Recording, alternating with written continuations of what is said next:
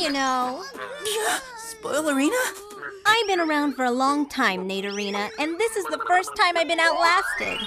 I'm impressed, Arena, by you, young man. Spoiler alert, you win. Whoa. Wow. I won't spoil the end of your movie.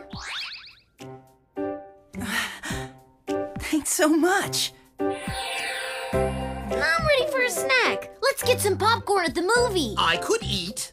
We can see the movie, Nate. He's right, Nate. We're in the clear now.